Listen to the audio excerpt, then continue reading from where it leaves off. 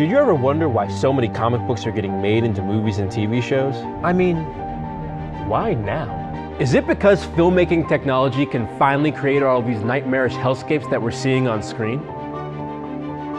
Or is there a deeper reason? I think partly what makes superhero stories popular now is the fact that we can translate their stories better onto the screen. But I also believe that you can read the issues that a culture is wrestling with off of its popular entertainment. When Marvel Comics really takes off in the 1960s, we have the Fantastic Four starting it off, and then we have the Amazing Spider-Man. Uh, Spider-Man shows up in Amazing Fantasy number 15 at first. In the last panel of Amazing Fantasy number 15, uh, Peter Parker's walking off into the distance, and Stan Lee says, you know, in this world, uh, with great power, there must also come great responsibility. Now, this is no accident that at the time, 1960s, America is dealing with the aftermath of having invented and stockpiled nuclear weapons. In fact, Amazing Fantasy number 15 comes out just a few months before the Cuban Missile Crisis. Look at that. You've got this story about great power and great responsibility, and then you have uh, the potential of a, world ending nuclear war. And so I think at, at that time, what you saw was uh, a real interest in using superheroes as a means of wrestling with America's place in the world. Here's this country that emerged from World War II having tremendous power, gained it really quickly, the, you know, like a radioactive spider bike or a gamma explosion going off, and, and it doesn't know what to do with it yet. And so we saw at the time those stories helping us understand that. I think the same thing's going on now. It's no accident to me that during a time where our country is as politically divided as it's been in quite some time, that we see two movies emerge that show superheroes being divided. We see Batman and Superman punching each other in the face, and we see Marvel Civil War with the entire, you know, entire Marvel superhero community divided and punching each other in the face.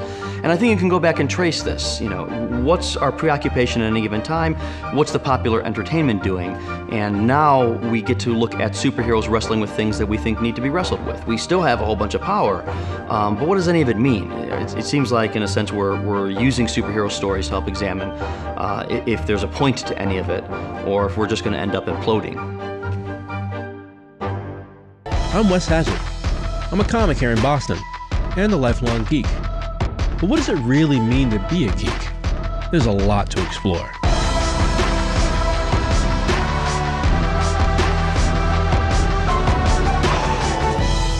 Secret Worlds of Boston Comic Con, presented by your New England Chevy dealers they're sort of crazy superheroes, so why haven't they just died out? I think that superhero stories provide a, a, very convenient mythic backdrop for us to work out a lot of our issues. The Greeks had their gods, the Romans had their gods. We have these larger than life individuals in which we can tell very uh, small but important uh, stories. It's our modern mythology. I think after a while you've done every idea. We're like, oh yeah, we've killed him, we've traveled through time, uh, he's got married, he's not married, he's, he's gay? Is he a dog? Is he really a robot? Eh, why not? He uh, he's, he's he's an alcoholic now. Sure, why not?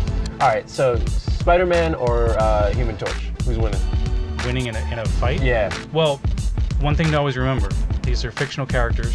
When you mess with some of these characters, and people people get pretty personal about it. You know, it's part of their life for many many years. They get connected to this stuff uh, and they take it very seriously. I stopped watching The Walking Dead because I felt like they were changing characters and character, like especially female characters who were strong in the comic were like lame on the show. What people didn't get right away when these characters were transitioning to feature film and television was the depth and the complexity behind a lot of these characters. People just kind of looked at them superficially like pow, bam, boom, you know, and, and, and that's it. Ew, I don't like you, Batman. I don't like you, Superman. What, what the hell is this, the OC? X-Men 3 was not good. Spider-Man 3 was not good. I'm sorry. Uh, you introduce Deadpool, and then you take away his ability to talk. And then Deadpool, the movie, came out last year, and it's the greatest thing I've seen. Actually, if, oh, okay. That's the best adaptation. What's so great about the sort of, especially what Marvel is doing with their with their universe, is that you go and you see Captain America, and then you can really easily now just go to the shop and say, "Hey, that movie was great. What do you, what else do you recommend with those characters?" Jessica Jones did a female friendship really well. Yeah. And like they don't just talk about like, so are you dating? Latte. like, instead, it's like a regular friendship. My friend said it best. Like, we have to see these comic book movies. It's like our obligation, and it's almost like in like Jewish culture, we remember just because we have to, because it's our heritage. We are geeks. We have to see this. We have to support it because we're geeks. Our appetite is is whatever it is, whatever the magic is. We are nowhere near being sated. Plugs. And if you like geeky TV and movies, just look at all these people who are coming to Boston Comic Con, August 12th through the 14th at the Seaport World Trade Center.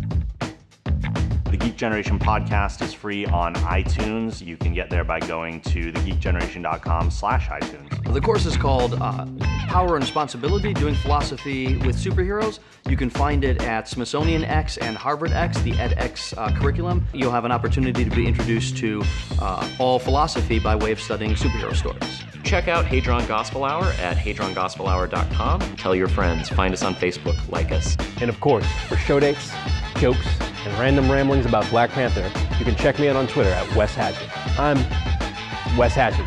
Take care.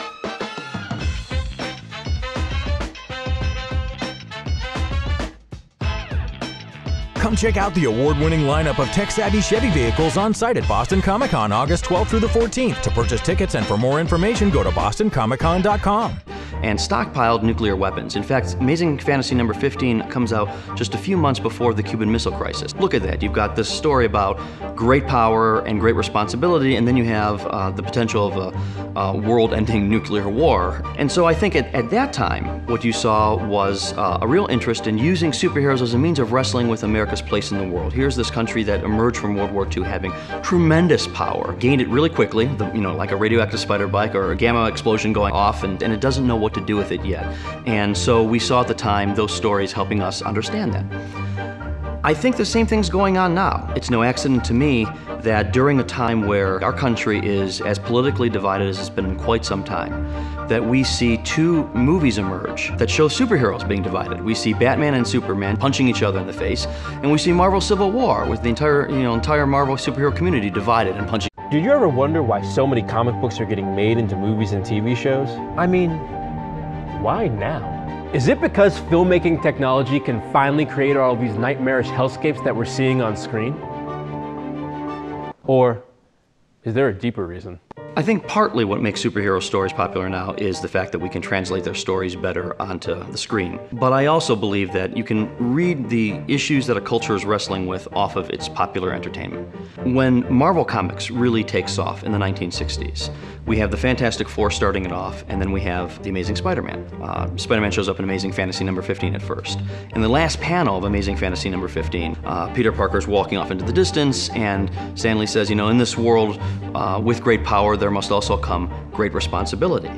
Now, this is no accident that at the time, 1960s, America's dealing with the aftermath of having invented And character, like especially female characters who were strong in the comic were like lame on the show. What people didn't get right away when these characters were transitioning to feature film and television was the depth and the complexity behind a lot of these characters. People just kind of looked at them superficially like pow, bam, boom, you know, and, and, and that's it. Ew, I don't like you, Batman. I don't like you, Superman. What, what the hell is this, the OC? X-Men 3 was not good. Spider-Man 3 was not good. I'm sorry. Uh, you introduce Deadpool, and then you take away his ability to talk. And then Deadpool, the movie, came out last year, and it's the greatest thing I've seen.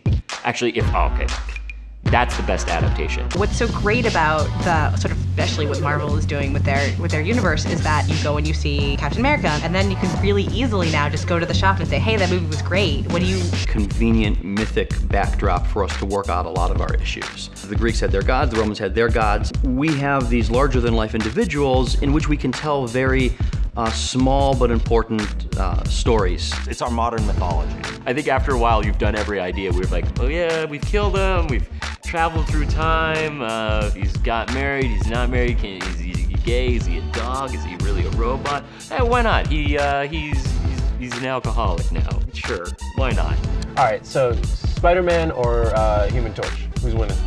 Winning in a, in a fight? Yeah. Well, one thing to always remember these are fictional characters. When you mess with some of these characters, and people people get pretty personal about it, you know, it's part of their life for many many years. They get connected to this stuff, uh, and they take it very seriously. I stopped watching The Walking Dead because I felt like they were changing characters. each other in the face. And I think you can go back and trace this. You know, what's our preoccupation at any given time?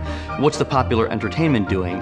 And now we get to look at superheroes wrestling with things that we think need to be wrestled with. We still have a whole bunch of power, um, but what does any of it mean? It, it seems like, in a sense, we're, we're using superhero stories to help examine uh, if there's a point to any of it, or if we're just going to end up imploding. I'm Wes Hazard. I'm a comic here in Boston and a lifelong geek. But what does it really mean to be a geek? There's a lot to explore.